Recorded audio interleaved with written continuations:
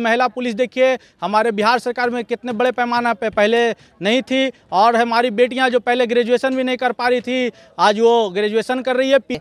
हमारे जो नेता ने दलितों के जो पंचायती राज में तैंतीस परसेंट आरक्षण देने का काम किया है पहले दलित एक भी मुखिया कुछ बनते थे। ओ, तो बिहार के लिए जो की काम किए हैं वो नीतीश कुमार जी वो बहुत सराहनीय हैं। नमस्कार, आप देख रहे हैं न्यूज़ फॉर नेशन में हूँ आपके साथ नरोत्तम जदयू द्वारा आयोजित भीम संसद में आज कुछ छात्र आए थे। हम इनसे जानेंगे आखिर भीम संसद में ये आए। आप लोग भीम संसद में आए हैं।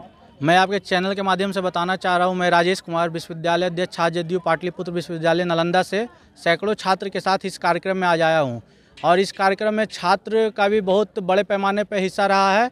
और मैं बताना चाह रहा हूँ कि आज ये कार्यक्रम जो हुआ है इसमें, इससे पहले भी हमारे नेता ने बिहार में छात्रों के लिए बहुत सारे अच्छे अच्छे कार्य किए हैं। और बात रहा आरक्षण का तो वो पहले भी हमारे नेता महिलाओं को बिहार पुलिस में दरोगा में और बहुत सारे सरकारी नौकरियों में बहुत तरह के और बहुत ज़्यादा आरक्षण दिए हैं। आज महिला पुलिस देखिए, हमारे बिहार सरकार में कितने बड़े पैमाना पे पहले नहीं थी और हमारी बेटियाँ जो पहले ग्रेजुएशन भी नहीं कर पा रही थी, आज वो ग्रेजुएशन कर रही है, पीजी कर रही है, सरकार मुफ़्त शिक्षा किए हुए है और मुफ़्त शिक्षा के बाद जब बीए पास करती है, ग्रेजुएशन स्नातक उत्तीर्ण करती है तो उसको पचास हज़ार का सहयोग राशि भी हमारी सरकार दे रही है। तो ये सरकार छात्रों की सरकार है और छात्रों के लिए हमेशा काम कर रहा है। इसलिए हम जदयू के या माननीय मुख्यमंत्री जी के हर कार्यक्रम में बिहार के जितने छात्र हैं पूरे जी जान से आएँगे और अपना पूरा दम दिखा देंगे।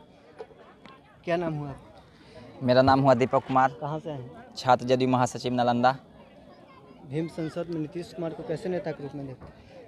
भीम संसद में नीतीश कुमार को एक अच्छे नेता के रूप में देखते हैं क्योंकि उन्होंने जो के लिए कितना हितैषी है नीतीश कुमार? दति- भीम संसद में आए थे दलितों के लिए तो बहुत अच्छे हितैषी देखिए हमारे जो नेता ने दलितों के जो पंचायती राज में तैंतीस परसेंट आरक्षण देने का काम किया है पहले दलित एक भी मुखिया कुछ बनते थे अब तैंतीस परसेंट आरक्षण मिला है तो उससे क्या मुखिया मुखिया बन रहे हैं? जो यहाँ पे सब है ना मंत्री वगैरह बनते हैं। कहाँ से नालंदा से क्या नाम है? छोटू कुमार। नीतीश कुमार को कैसे नेता के रूप में एक छात्र होने के नाते देखते बिहार में एक अच्छे नेता के रूप में जाने जाते हैं जो कि लगातार अठारह वर्ष से बिहार के सीएम बने हुए हैं और हमारे नालंदा डिस्ट्रिक्ट से हैं हम उन्हीं के डिस्ट्रिक्ट से हैं। क्लोज क्लोज हैं हमारे एकदम। ओ, तो बिहार के लिए जो की काम किए हैं वो नीतीश कुमार जी वो बहुत सराहनीय हैं। क्या नाम हुआ पवन कुमार।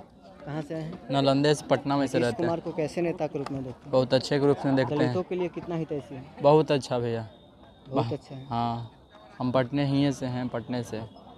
लो तुम सब भी आ जाओ। चौबीस में किसको प्रधानमंत्री बनाए नीतीश या मोदी?